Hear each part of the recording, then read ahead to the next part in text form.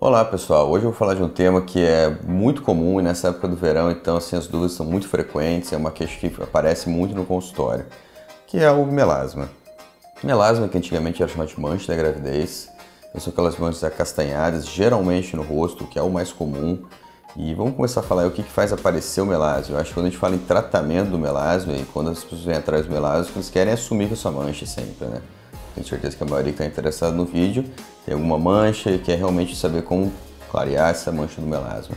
O ponto mais importante, dependente de qualquer tratamento que a gente vai propor, seguinte para clarear essa mancha, é proteger adequadamente a pele. A gente sabe que quem tem melasma apresenta uma característica da pele ser muito sensível à luz, tá?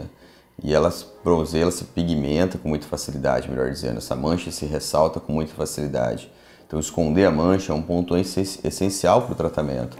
Então, utilizar um protetor com amplo espectro, escondendo a luz visível. Então, não é só a radiação ultravioleta, que é essa radiação que leva a mutação nas células e propicia o aparecimento de câncer futuro, mas a luz visível. A luz visível piora e favorece o aparecimento do melasma. Então, você tem que bloquear essa luz visível, utilizar um protetor tenha ou cor de base, ou utilizar maquiagem por cima. A maquiagem serve como adjuvante nesses tratamentos. Tá? Alguns estudos mostram que é necessário ter óxido de ferro acima de 5%. O óxido de ferro é o pigmento que dá coloração à maquiagem.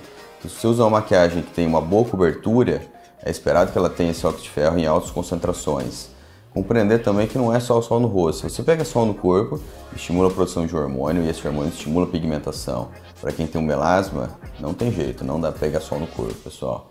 E tem estudos que mostram que outras radiações, não só radiação luminosa, como o infravermelho, que é o calor, piora o melasma.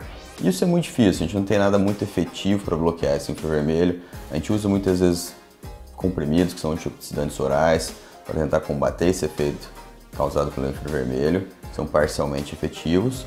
Então, claro, na medida do possível, evitar ambientes muito quentes. Tá? Existem alguns outros estudos que mostram, inclusive, o estresse, tá? o estresse emocional mesmo. Pela variação hormonal, a liberação de cortisol pode estar implicado na piora do melasma. Então, que a gente conclui no final disso tudo? Que o melasma é uma doença multifatorial, tem vários fatores que propiciam o aparecimento do melasma. E você só vai ter um bom resultado de clareamento se você seguir esses cuidados.